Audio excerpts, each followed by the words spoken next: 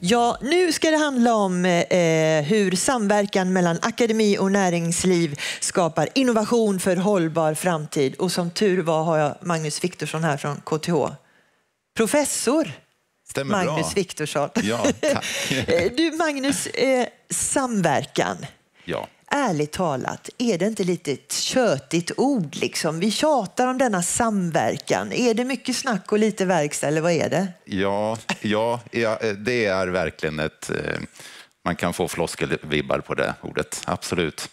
Ehm, det finns ju många sätt att tackla det här ordet samverkan. Jag tänker, dels så är det ju de här frågorna som vi pratar om. Hållbarhet, innovation, liksom transformation av industrier. Eh, Tror ju, och väldigt många tror, att man kan inte klara det själv. Utan man måste ha hjälp av andra, bolla andra. Eh, så det är väl där samverkan kommer in. Eh, och det här, precis det du säger, är man inte lite trött på ordet samverkan? Det är egentligen det som var tanken bakom det här seminariet, att vi är lite trötta på det ordet. Vi vill veta vad, vad är där bakom, vad är under skinnet, liksom? hur går det till egentligen? Eh, hos det stora företaget, lilla företaget, eh, akademin, vad, vad är det kraven? Ja, det är bra Så, start eh, Magnus. Jag skulle gärna vilja fånga de tankarna från Ja. olika typer av aktörer. Och vi ska strax få eh, lyssna till dig och din panel. Men eh, vad är din uppfattning då? Hur ligger Sverige till i omställningen när det gäller hållbar produktion? Om du får beskriva det. Ja, eh, det skulle jag kunna prata en timme om. Ja, det det vore ju jätteroligt. Eh, vi, vi har ju tittat ganska mycket på siffror och eh, också förstås mycket fallstudier då i företagen där vi ser på hur jobbar de faktiskt med hållbarhet. Och, eh, om jag får ta några små glimtar kring det här så globalt sett så, så pratar man ju till exempel om det här med, med utsläppsintensitet eller emission intensity. Att man tittar på hur mycket eh, ja, växthusgaser per värde skapat förbrukar industrin. Så att säga. Hur mycket utsläpp gör man per eh, krona skapat värde? Och det är ett nyckeltal man tittar på. Då. Och då ser man ju att ja, men, eh, globalt sett så, så lyckas industrin beta ner det där med en 2-3 procent per år. har man gjort under 20 år. Eh, och det ser ju bra ut. Man, blir liksom, man får ut mer produkter, mer värde skapat och släpper ut mindre. Eh, problemet är väl att det här räcker ju inte. 2-3 procent per år är ju, det är ju inte det vi är ute efter. Vi är ute efter mycket mer. Eh, det är det ena. Och det andra är att vi skapar ju fortsatt så är det ju en sån tillväxt i världen. Världen får det bättre. Väldigt många får ett kylskåp som man aldrig haft ett kylskåp. Fantastiskt. Eh, men det gör att den absoluta talet av utsläpp från industrin, den, den minskar inte. Liksom. Att, att den här utsläppsintensiteten minskar, det är bra, men det är inte tillräckligt. Så det är liksom global nivå. Och då förstår jag att det här med samverkan blir väldigt intressant. Vad ligger bakom? Ja, precis. Men ska vi säga så Magnus att du får fortsätta gräva där i panelen kring den här frågan och så önskar jag dig lycka till så länge. Ja, nej, men det är bra.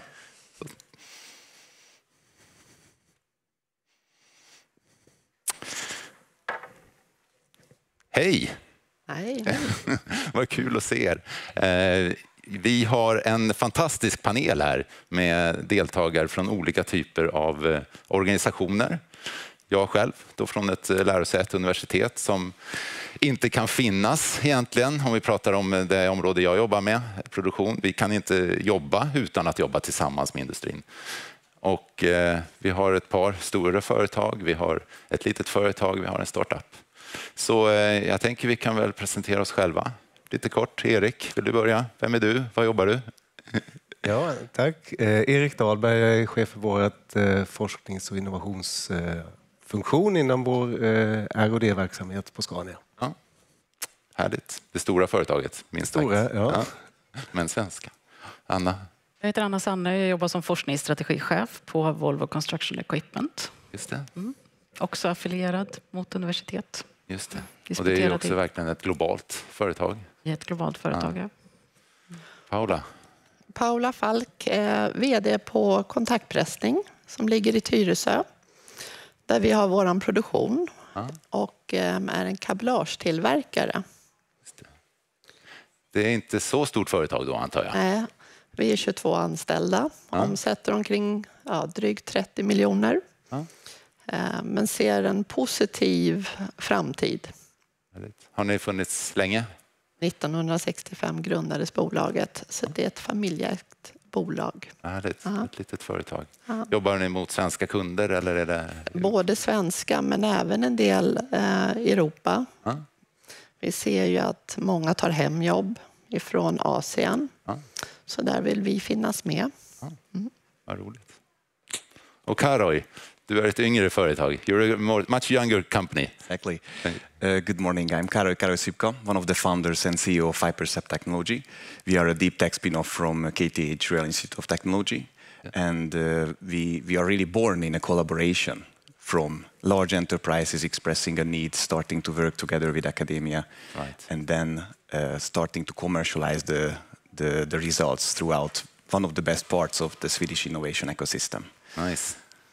You sit with something in your hand there. Exactly. Yeah. This is our this is our fitness tracker, as we call, where we package tracker, okay. exactly, where we packaged long years of research, our patented innovation, and proprietary algorithms, Yeah. so we can easily integrate into production equipment and help them to operate more efficiently and in a more sustainable way.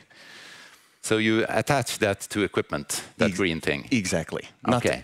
All equipment. We are uh, today available for six, some 60 million machines, like machine tools, presses, uh, industrial cranes, industrial robots. So we are a machine configured solution. Okay. Exciting. and, and a young company, I guess. Yes, exactly, Yes. exactly. So uh, today we are a little bit more than 10 full-time equivalent and uh, growing fast, working with large uh, enterprises. Nice. Yes. So, so um, the idea was that, that I really was curious of what is what is driving us all actually to have this type of interaction. Nu ska jag prata svenska igen. Vad är det som driver oss själva att faktiskt uh, ha samverkan? Vad är det som gör att det, det gynnar just mig i min vardag? Eh, och eh, det är jag nyfiken på egentligen. För, för ofta pratar vi ganska generellt om samverkan liksom som ett fenomen och trippelhelix och så vidare från någon sorts metaperspektiv. Men det bygger ju på ett incitament på, på den lägsta nivån. Liksom. Men eh, Erik, hur, hur, vad, är- din bild kring fordonsindustri som helhet liksom, generellt? Ja, men om, vi, om vi börjar stort och Ja, trattar precis. ner så, så ehm, eh, har vi bestämt oss för att vi, vi ska vara ledande i, i transformationen mot eh, ett hållbart transportsystem. Mm. Och det finns ju många delar eh, i detta, alltifrån våra egna operations, eh, vår produktion naturligtvis, men också det som kanske sätter mest eh, footprint, våra eh, kunders användning av våra produkter. Och, och där ser vi ju att vi går emot eh, en, en, ett system där vi har uppkopplade, autonoma och elektrifierade fordon. Och vi är en bit in i den resan. Eh, Vi har redan över 600 000 uppkopplade fordon som snurrar världen över. Eh, Elektrifieringen börjar ta fart. Vi räknar inte längre fordon i tiotal eller hundratal utan i tusental och det går snabbt uppåt. Just det. Och eh, automationen är inte så långt bort. Det är runt hörnet och vi kör redan eh, på väg med våra kunder, eh, fortfarande med, med eh, säkerhetsförare. Men det finns, det har hänt mycket de senaste ett, två åren och det finns möjligheter nu att köra det. Och allt det här drivs ju av eh, hållbarhetsbehoven eh, så att säga. Det fossilfria samhället, eh, EUs 50, 55 procents program och, och, och Parisavtal och också av nollvisionen för trafiksäkerhet. Eh, men det här är så mycket mer komplext än vad det gamla eh, transportsystemet var. Det är behov av uppkoppling mot fler infrastrukturer eh, och, fler aktörer i, i hela ekosystemet. Och det är helt enkelt så komplext att vi klarar inte att göra det ensamma. Så det sätter hela eh, behovet utav, eh, ja, det ni pratade om här inledningsvis. Är det här bara något uttjatat? Nej, det är eh, verkligen den nya situationen som vi måste förhålla oss till. Så det är inte bara i, i lösningen som kommer då involvera många aktörer, liksom när man sen kör, då, då kommer, utan det är också i utvecklingen dit som kräver mycket samarbete, eller? Absolut. Det, det, det, kunskapen för att, att eh, förstå hur vi ska kunna göra de nya optimeringarna och där vi inte själva kan vara ensamma i optimera. Till exempel det enkla och, och målande exemplet med, med elektrifierade fordon där vi är helt beroende av en infrastruktur som inte finns idag. Eh, och som vi inte exakt vet hur det måste utformas för att våra kunder ska fortsätta kunna transportera eh, långa sträckor och korta sträckor och tyst på natten och, och allt vad det kan innebära. Ja, men jag förstår. Och den, den kunskapsbas som då krävs för att utveckla de nya lösningarna, det är inte så självklart så att det är Scania som sitter på allt från början. Liksom. Eh, Det skulle man kunna tänka sig, att ni hade in-house-kompetensen helt och hållet. Men Man skulle kunna tänka sig det, men, men så, Så är det inte. Och jag tror inte heller att vi ska ha all den kompetensen, utan vi det. behöver samverka. Ja. Intressant. Anna, från Volvo CEs perspektiv, det här med, med samverkan och eh, akademi och företag, hur, hur, hur hjälper det till att adressera de här, de här utvecklingen som Erik pratade om? Jag tror man kan titta tillbaka i tiden, om man blickar tillbaka 20 år, där det var mer vanligt att ha samverkan kring eh, traditionella ingenjörsdiscipliner. Och det vi ser nu är ju att det blir mer och mer komplexa frågeställningar. Vi lyfter på stenar som vi inte behövt att lyfta på tidigare vi behöver säkra att vi uppfyller våra mål. Vi har ju committat oss till Science-Based Target till exempel. Och då tittar vi både uppströms eh, i värdekedjan och nedströms. Så det lyfter på helt andra utmaningar än man behövt tidigare. Och där är ju forskarnas hantverk eh, exemplariskt faktiskt att, att eh, få tips och guidning. Vad behöver vi titta på? Hur behöver vi belysa den här frågan? Och då är det inte bara tekniken utan det är ju nya affärsmodeller, sättet att samla in data, eh, etiska diskussioner, regelverk etc. Så det, det finns en stor komplexitet i de frågorna som vi forskar på just nu. Ja. Mm, för man kunde ju tänka sig att ni, ni är ju jättestora och gamla bolag som har funnits för evigt, känns det som. Eh, så eh, att, att det här är så nytt och ni liksom inte är re, på något sätt att det här det ställer nya krav ändå. Mm. Ja, det ställer ju nya krav på partnerskap. Nu har vi ju en, Paula här från SME till exempel. Att vi behöver ju knyta an till aktörer i värdekedjan och diskutera de här frågorna. Och då är det ju forskarnas som sagt, sätt att belysa frågor, göra grundade utredningar som man kan fatta beslut på, eh, föra fram frågor. Eh, det är ju väldigt, det tar oss framåt. i Ett, ett sätt att arbeta Okej. Ja, och engagera unga eh, studenter också. Just det. Eh, för de kommer ut med en kompetens som eh, våra medarbetare som kanske eh, tog examen 20-30 år sedan. Som de Ja, inte just har. det. Där finns ju en dimension av samverkan också säkert som är relevant för er kring rekrytering och, och liksom framtiden. Så. Men eh, jag antar att livet är lite annorlunda kanske, Paula, på ett litet bolag? Ja, absolut. Hur, Men om jag knyter an till Anna lite, det här, de här studenterna. ja, Det är oerhört viktigt att de får komma ut i och se vår verksamhet. just det. Ja. Och vi får lära oss utav dem.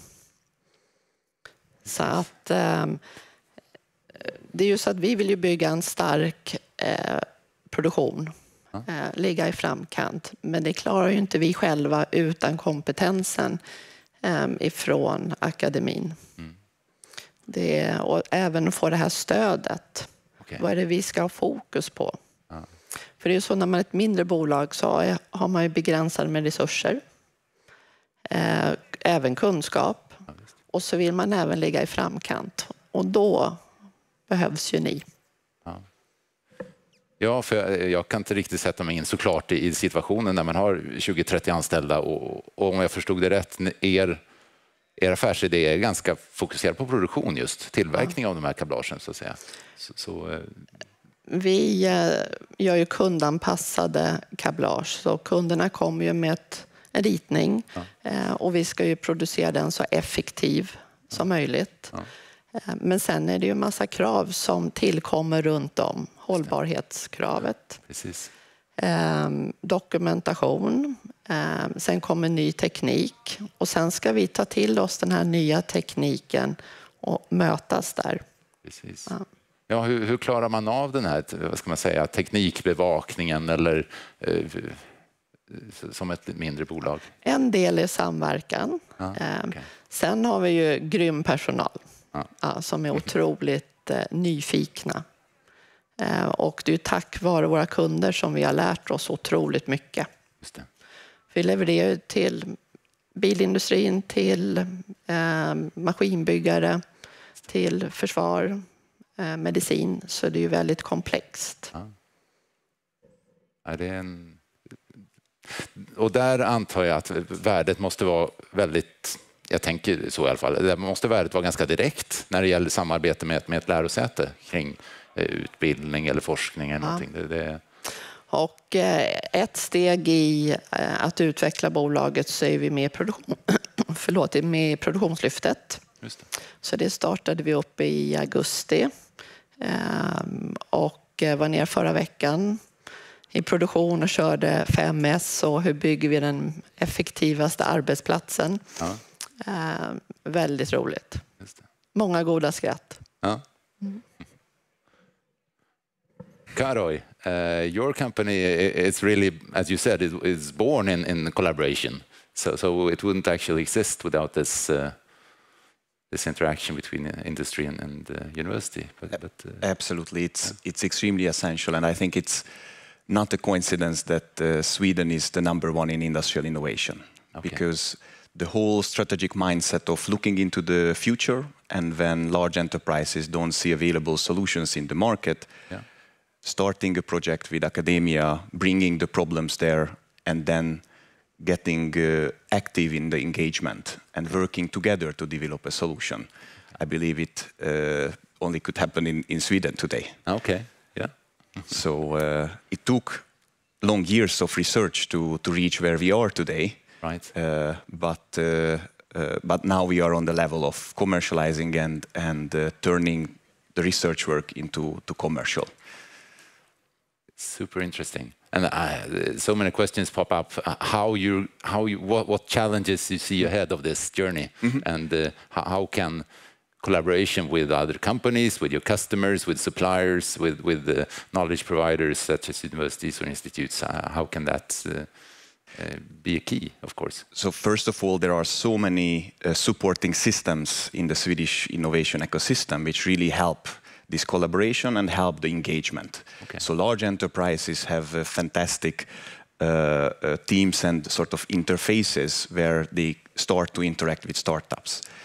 Uh, where we see that today the bottleneck can be that actually there is statistics around that something like two-thirds of the, the pilot projects don't scale up even though that they show success.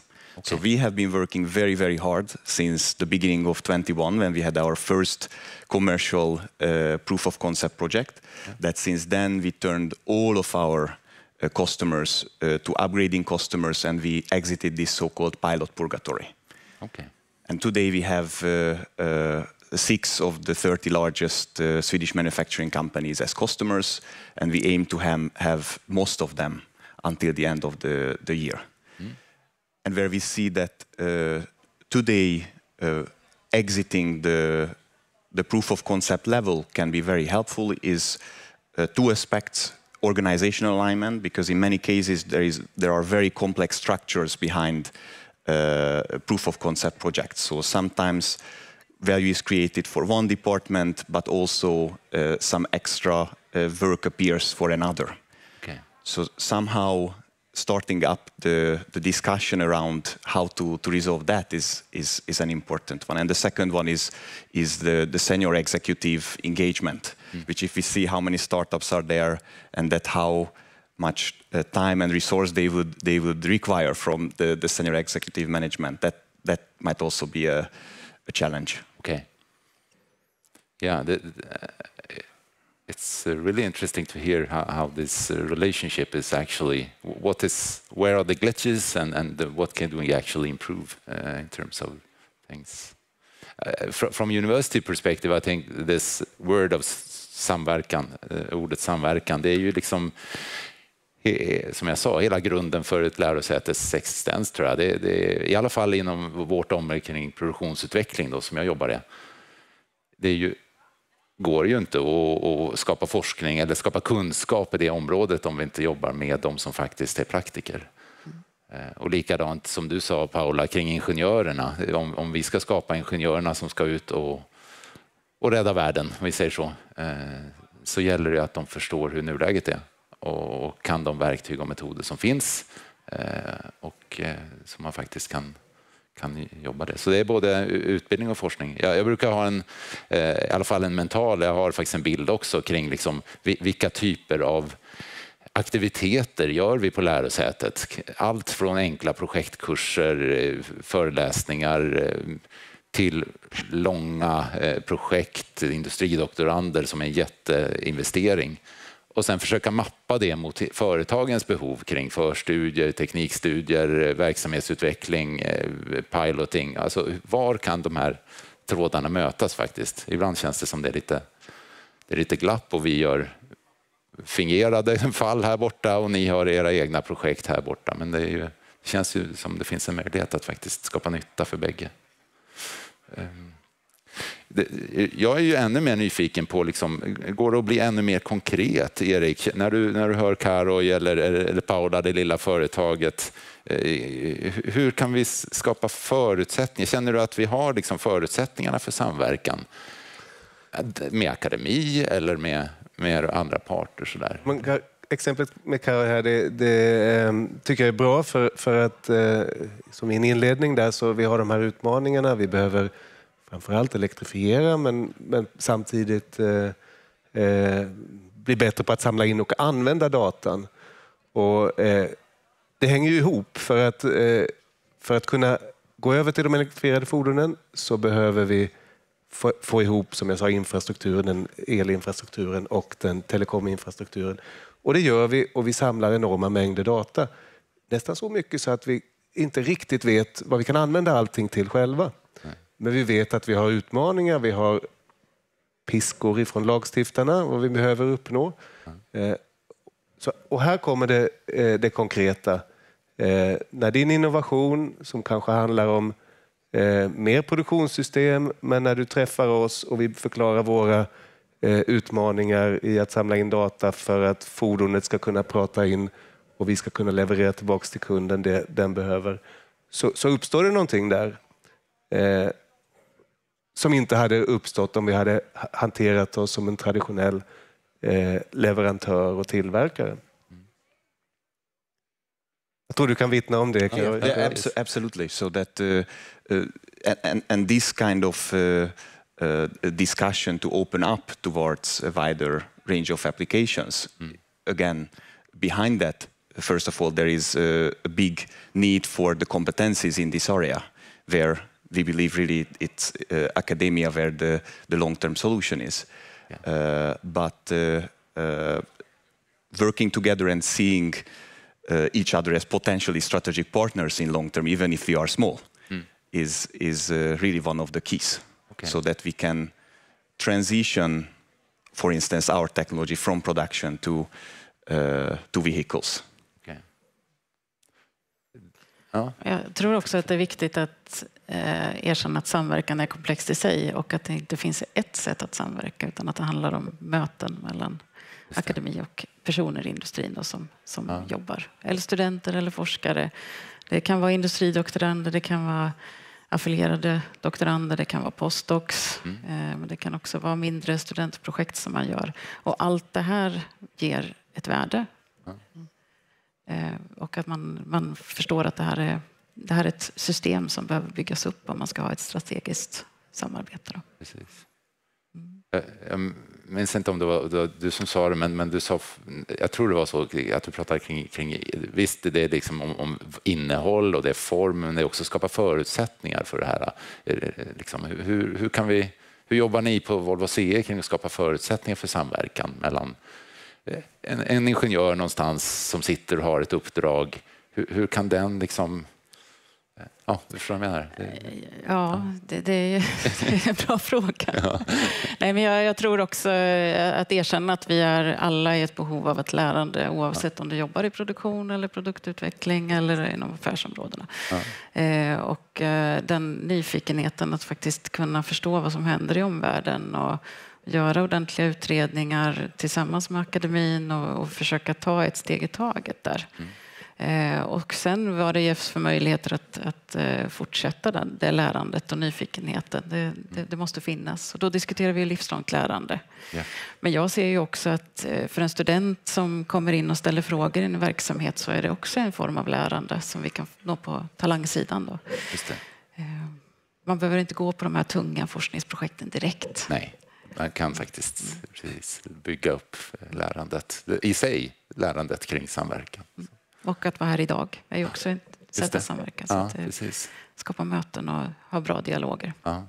För det, från eh, akademins sida så kan jag känna att det, det, är, det är ganska lätt att man slinker in på att ja, ja, jag har de här fem kontakterna och, och så jobbar man via dem som, som är eldsjälar och tycker det är roligt och jag trivs bra med dem och de trivs med mig. Liksom. Men, men eh, idealt så skulle det är så mycket mer eh, så och det är ju det som är det, det svåra, liksom, att, att skapa värde i. Man kan ju inte ha massmöten heller. Liksom. Eh, ja. Paula, har du några tankar? Ja, jag tänker mycket det här att eh, den här samverkan, att det finns forskningen och sen har vi verkligheten. Och att på något sätt få de här att mötas lite mer konkret. Det. det tror jag är nyckeln framåt. För att vi, lite som du säger, vi kan producera hur mycket papper som helst, data. Men till slut så måste man också omvandla det till någonting praktiskt eh, och testa. Exakt. Eh, för att utvecklas. Ja. Det, det, det är bra, det gillar jag. För jag, det är också någon reflektion jag haft. att det, det finns någon bild av forskning. Det är, det är något svårt och komplicerat. Det får inte vara de enkla, enkla de, de dagliga problemen. Det, det, går inte att forska på det. Men inom produktionsutveckling så är ju liksom empirin, eller vad man ska säga, datan är ju vardagen. Och sen är det ju faktiskt upp till, till forskaren att göra eh, generell kunskap av det här. Det, det, är inte industrins huvudverk om jag säger så. Så kom gärna med de mest banala problem som finns tänkte jag säga. Eh, och jag tycker de bästa forskningsprojekten de brukar ju bli när det är ett ett, ett projekt på ett företag som jobbar och vi kan docka in och ha våra roller. Vi ska inte vara konsulter, vi ska inte vara någon teknisk lösare, men vi ska, vi ska göra liksom vårt uppdrag i det hela. Men när man liksom har, har ett, ett behov som faktiskt finns. Det ja. Men jag skulle kunna ta ett litet mikroexempel. Ja, gärna. Ja. Eh, vi producerar ju eh, kablage och det blir alltid spillrester kvar. Och på något sätt så ser man de där spillresterna, de växer. Ja. Eh, och det återvinner vi idag, men det kanske finns ett liv däremellan. Just det. Och det är också ett sätt att ta tillvara på materialet. Och där behöver vi ju er hjälp. Ja. Skulle vi kunna använda till en annan produkt, ett annat område som inte vi känner till? Just det. Eh, och det är ju bara någonting litet. Precis. Men någonstans måste ju alla börja. Ja. ja. Jag tänker att det här är ett, ett, eh, ett jättebra exempel på, på en, en, väldigt stor fråga. Jag, jag har lyssnat lite in på förra panelen som pratade om att ja, vi har jobbat med, med CO2-fokus men nu tittar mer på materialflöden och sluta flöden av material och så vidare. Det här är ett, ett litet exempel på, på spill i produktion kan det faktiskt vara värde mer än en materialåtervinning. Eh, det kanske, ja, hur skapar man de här värdekedjorna som man inte ens vet om kan finnas. Liksom. Och då kommer man tillbaka till de här mötena som vi ja, behöver. Eh, studenterna som kommer och kanske gör ett exjobb. Ja. Eh, stöttar eh, de här mindre bolagen som oss till exempel. Det finns Precis. ju mängder. Ja. Och det är också så att vi ser ju att våra kunder tar ju hem industrin från Asien närmare oss och vi måste ju också ha en effektiv eh, produktion mm. eh, med ett hållbarhetstänk. Because I, I reflect that your your business, Karo, I mean, it didn't exist a few years ago, and and no one could have imagined that it would exist today uh, if you go 10 years back. So, so, suddenly it appeared. and this is, I mean, there could be a company taking care of this uh, small uh, residual material from, from Paula's business uh, uh, tomorrow that we don't know about. But how, how come you you emerged Yeah. Uh, so by uh, magic. First of all, I think it's very important that the nature of a startup is to listen a lot, learn very fast, and then grow fast based on how we are verifying problems. And uh, uh, we are not just providing a solution, but we are also listening a lot. I think this is one of the, the keys for us in succeeding and going beyond the proof of concepts, so that uh, we are fine tuning our solution based on needs. And uh, one of the very interesting learnings is that uh, we started to work together with the smaller and middle sized uh, uh, companies as well. And there, it's actually a little bit even more difficult to listen because everybody is so occupied with the with the daily operation, and we know because that's the same actually for us. So if an, when another startup comes to us to to help us with the I don't know uh, management of activities or, or or something on a different level, then it's very difficult to open up. So um, uh, so we also see that there are very interesting frameworks in Sweden, typically through grant applications, where uh, really these kind of collaborations can be realized. So we are uh, actually getting engaged in, in such activities or leading such activities where we are bringing on board academia, we are bringing on board middle-sized uh, enterprises in a research project. But then we apply within the framework of the project for the, the middle-sized companies.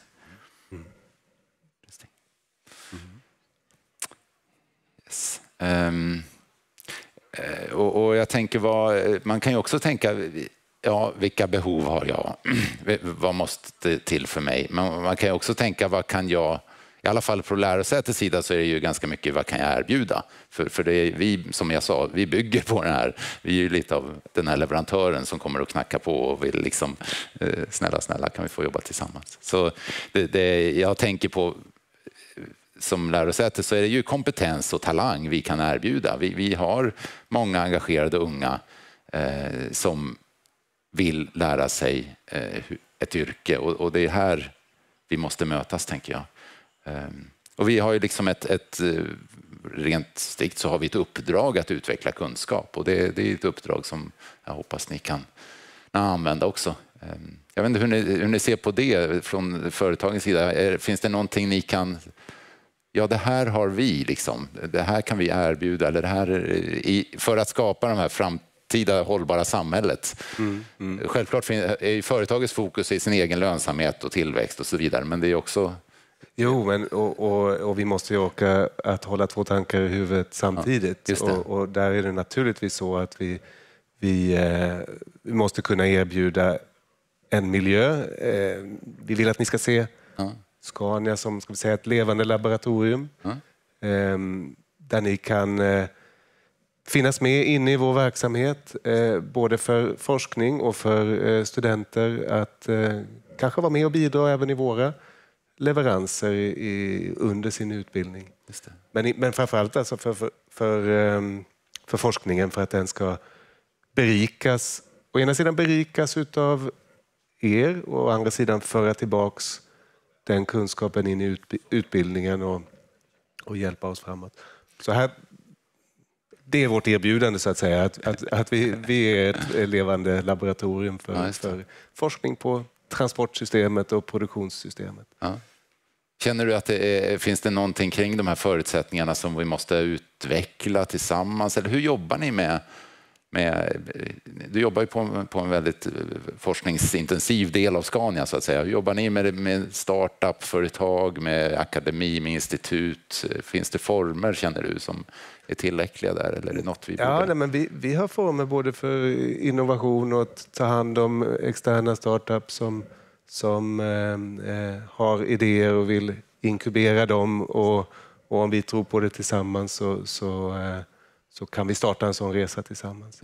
Ja. eh, och vi har former för, för eh, eh, samverkan i projekt och, och, att vara det här levande laboratoriet. Mm. Det vi kanske måste bli bättre på det är det som du nämnde inledningsvis med det livslånga lärandet eftersom vi, vi är ett bolag där vi har många som, som eh, jobbar väldigt, ja, kanske hela sin, sin, sitt yrkesliv. Mm. Och eh, utvecklar en massa kunskaper längs med det men samtidigt känner att nej, nu ser vi hur behovet svänger. av, av, kunskap och då måste jag fylla på. Inte en komplett ny utbildning, men jag måste fylla på i mm. AI eller machine learning eller vad det kan vara för, för ny eh, cirkularitet. Eller... Ja. Ja, intressant. Eh, en tanke som slog mig nu också, det, det är det här med samverkan, akademi och, och företag i ett globalt företag. Volvo CE, ni har ju sajter över hela världen och utvecklingscentra och så vidare i hela världen. Hur, mm. hur kan man jobba med det? Är, det? är det väldigt lokalt? Är det väldigt olika? Eller har man liksom Ja, det... det är klart att Sverige har ju eh, under många decennier byggt upp en bra innovationskultur så att det, det, är lättare här. Men vi jobbar eh, också globalt sett för att möta upp de behoven som finns på våra lokala sajter med de universiteten som finns. Ja. Eh, och akademin är internationell och vi är internationella så vad är frågan egentligen? Nej. Ja. Men vi vet ju också att det behövs ju vissa incitament för att det ska fungera. Ja.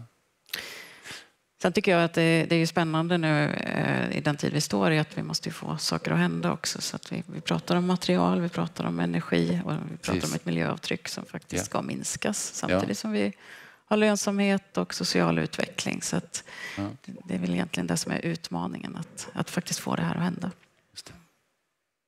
Mm.